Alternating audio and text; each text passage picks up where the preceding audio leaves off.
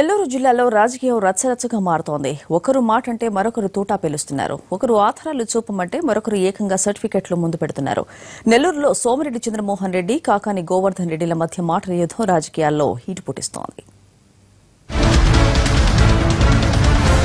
నెల్లూరులో Somireddy Kakani episode continue అవుతోంది. తప్పుడు ఆరోపణలు చేసిన కాకానికి జైలుకు పంపించే వరకు నిద్రపోనని శబదం పన్నారు సోమిరెడ్డి. ఆరోపణలు రుజువు చేయడానికి ఇరవై నాలుగు గంటలు టైం ఇచ్చిన టీడీపీ నేత ఆ తర్వాత కాకానిపై పోలీసులకు ఫిర్యాదు చేశారు.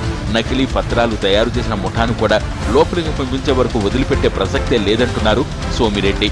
కాకాని బయటపెట్టిన పత్రాలను రుజువు చేస్తే శాసన మండలిలో అడుగు పెట్టబోనని సవాల్ విసురుతున్నారు.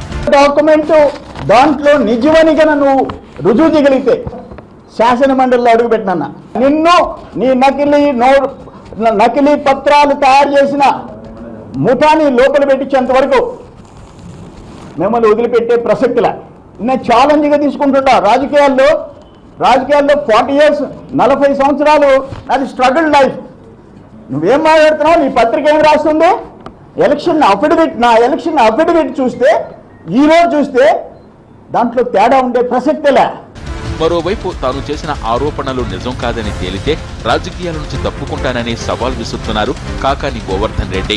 తాను చేసిన ఆరోపణలకు సమాధానం చెప్పలేక డొంక తిరుగుడు వైఖరితో తప్పించుకోవాలని చూస్తున్నారంటూ ఎద్దేవా చేశారు. ఆ పత్రాలు ఎవరికి ఇవ్వాలో తనకు తెలుసంటున్న కాకాని భవిష్యత్తులో ఇంకా డాక్యుమెంట్లో బయట పెడతానని భయపడుతున్నారంటూ సోమిరెడ్డి మీద ఎదురుదాడి చేశారు. సోమిరెడ్డి ఆయన భార్య పేరుతో ఉన్న ఆస్తుల చిట్టాను మరోసారి బయటపెట్టారు కాకాని. మొన్న ఒక పవర్ ప్రాజెక్ట్ చెప్పా సాగర్ పవర్ ప్రాజెక్ట్ అని. ఇదిగో ఈరోజు త్రిమూర్తి పవర్ ప్రాజెక్ట్ లిమిటెడ్లో నువ్వు డైరెక్టర్గా ఉండవు. ఇదిగో ఆధారం నువ్వు డైరెక్టర్గా ఉండవని కాదని చెప్పు పాని నీ పేరుతో ఉంది డాక్యుమెంట్. అవైలబిలిటీ ఉన్న డాక్యుమెంట్ ఈరోజు డౌన్లోడ్ చేసినటువంటి డాక్యుమెంట్. అదేవిధంగా ఆయన సతీమణి సోమిరెడ్డి జ్యోతి గారు ఆమె పేరుతో త్రిమూర్తి పవర్ ప్రైవేట్ లిమిటెడ్ ఉంది. సాగర్ పవర్ ప్రైవేట్ లిమిటెడ్ ఉంది. సాయి స్ఫూర్తి ప్రైవేట్ లిమిటెడ్ ఉంది. సాయి స్ఫూర్తి ప్రైవేట్ లిమిటెడ్లో ఆమె డైరెక్టర్గా రిజైన్ చేసింది. రెండు కంపెనీలు ఆమె డైరెక్టర్గా ఉంది. ఇది వాస్తవమా కాదా నువ్వు చెప్పు. మొత్తానికి సింహపురిలో రాజకీయ వేడి రాల్చుకుంటోంది. అధికార టీడీపీ ప్రతిపక్ష వైసీపీలకు చెందిన ప్రజా ప్రతినిధుల ఆరోపణలు కౌంటర్లతో జిల్లాలో వేడి పుట్టిస్తున్నారు. దీంతో ఈ ఎపిసోడ్ ఎటు తిరిగి ఎక్కడికి వస్తుందా అని ఎదురు చూస్తున్నాయి రాజకీయ వర్గాలు.